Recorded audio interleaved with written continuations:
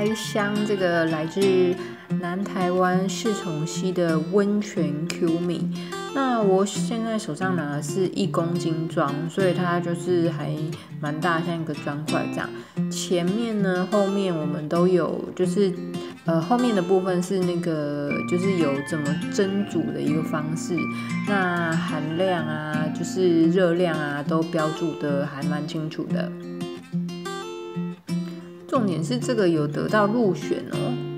那像我现在手上拿的是这个 mini 版，它是三百克，所以女孩子的话，想有时候一餐就是吃点白米饭，可以选这一包。那打开这个温泉 Q 米，就是我们南台湾的米啦，就是它是真的是颗颗很饱满，然后就是它的味道就闻起来就是台湾米的那种香气。好，我们现在开始煮了哈，把它全部倒出来，然后清洗一下这样子。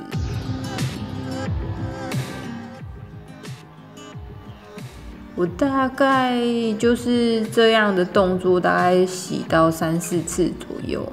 对，因为它这个是无农药添加的啊，所以所以其实就是呃。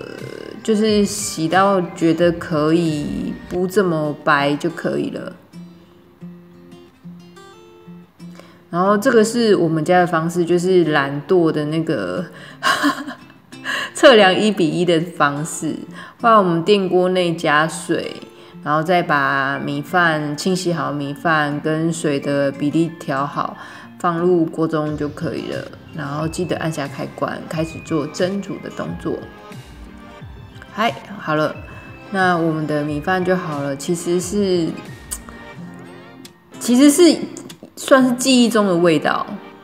对，它跟日本米的口感真的不太一样，就是有一种很熟悉的味道。